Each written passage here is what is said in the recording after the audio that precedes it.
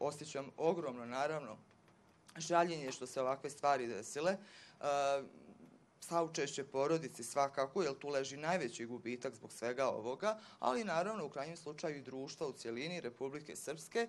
Ono što očekujem jeste da institucije rade svoj posao, da dođu do počinilaca i da se dakle sve nakon toga dešava u skladu sa onim kako je to zakon propisao.